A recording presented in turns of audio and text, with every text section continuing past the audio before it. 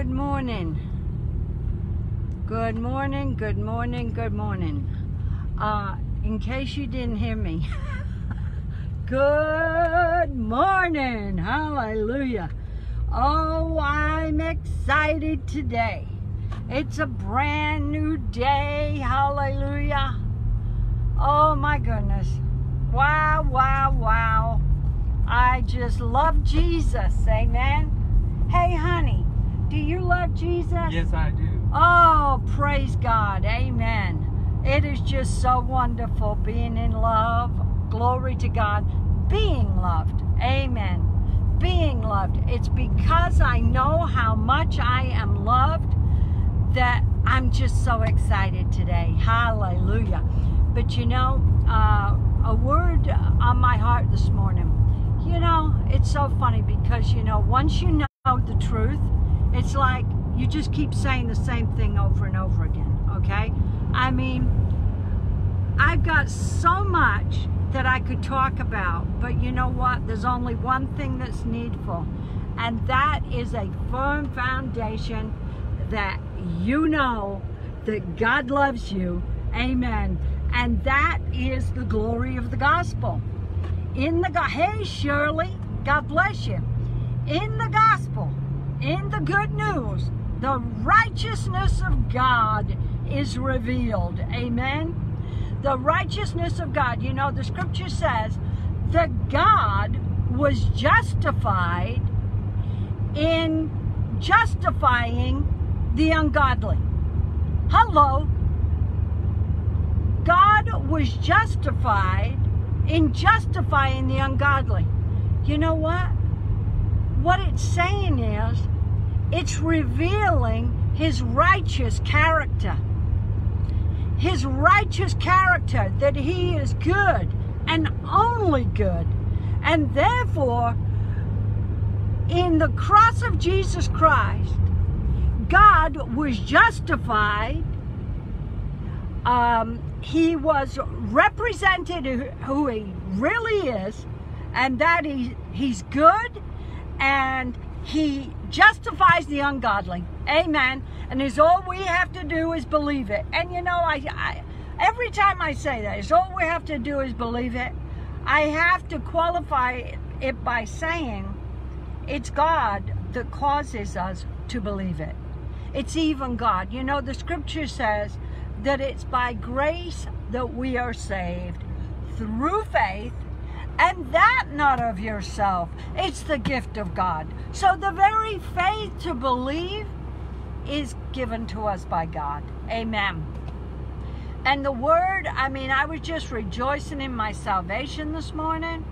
And um, the scripture came to my heart in uh, Matthew 5 8.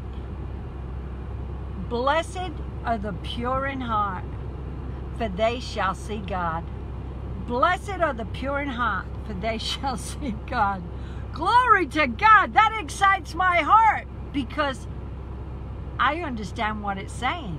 But I'll tell you something, for 34 years, every time I read that scripture, I used to think, oh, I've got to behave myself. I've got to do better. I'm not pure enough. I'm not pure enough. Because I looked, good morning, Lisa. Uh, that's a good smiley face, let me tell you.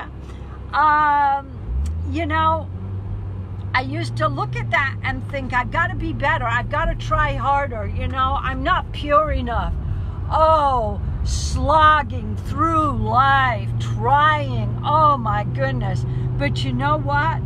I see through the gospel that I am as white as the driven snow, that though my sins were scarlet, he has purified me and made me whole. Amen. That I am perfect. See, this is the way I see myself, and this is why I'm so happy.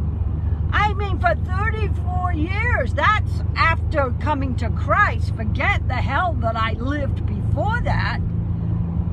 Uh, condemnation is not good. It will not make you happy. Amen and to be able to see yourself apart from behavior is like, oh, baby, I've died and gone to heaven. Amen. Jesus has set me free.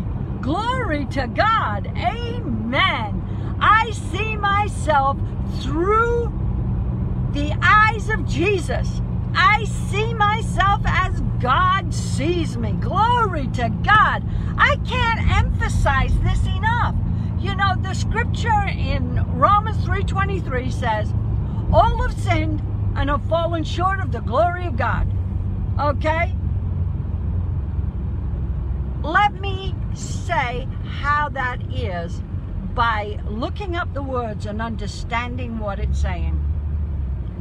All have believed the lie that they must do to be accepted and are because they believe the lie they're totally destitute of knowing God's good view and opinion of them.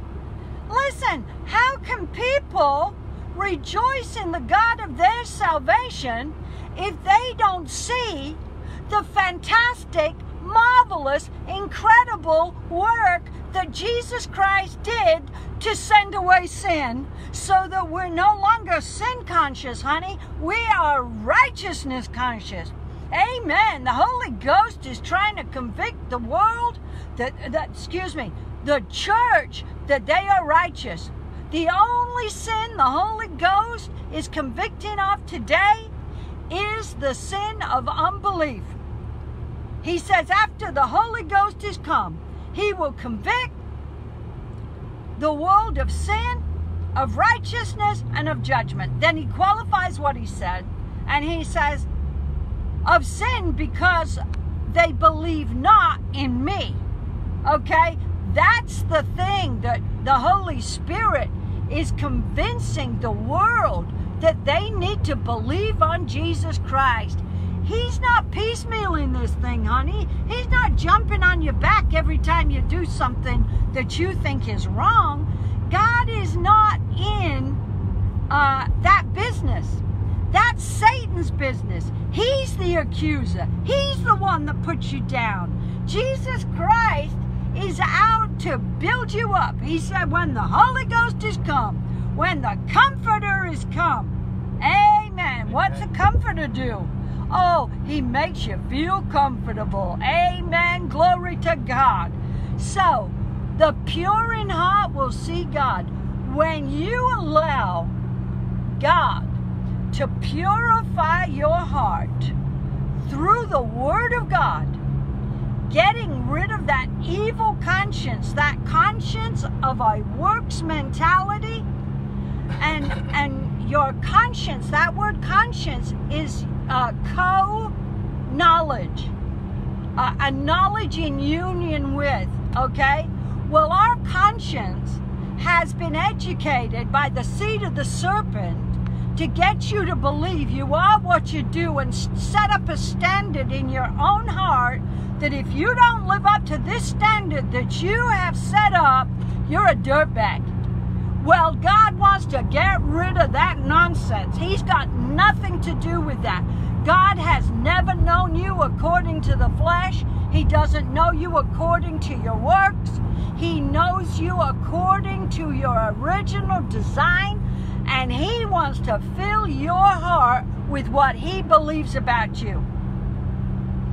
That you're wonderful, that you are you're a a one in a kind creation of God. You're unique. There's nobody like you. So therefore, you know, why do we compare ourselves among ourselves? There's nobody like me. Amen. Glory to God. And I'm comfortable in my own skin. I like the way God has made me. Glory to God. I am excited. I'm excited about living this glorious life. And now I'm on my way to the landmark resort down in Myrtle Beach for a double helping of the word this morning. I can't wait to hear the speakers. It's going to be good. I know it's going to be good. And then I'm going to be totally pumped And then I'm coming back for a second helping tonight. And then we're to get it going on again tomorrow. Oh, hey, Lisa, I wish you was here with me, girl. Oh, we'd be rejoicing together. We would be kicking up our feet this morning. Amen. Well, kids, it's a beautiful day, day down here in Myrtle Beach. And uh, I am blessed beyond measure. And I continue to be renewed in the spirit of my mind by the Word of God. Amen. So put on a word and, and just let just let his word wash over you. Amen. Let Jesus wash your feet with his beautiful word. Amen. Well, I'm pumped. You guys have a great day. And uh, hey, you never know. I might be talking to you later today. God bless you. Love y'all. Bye bye.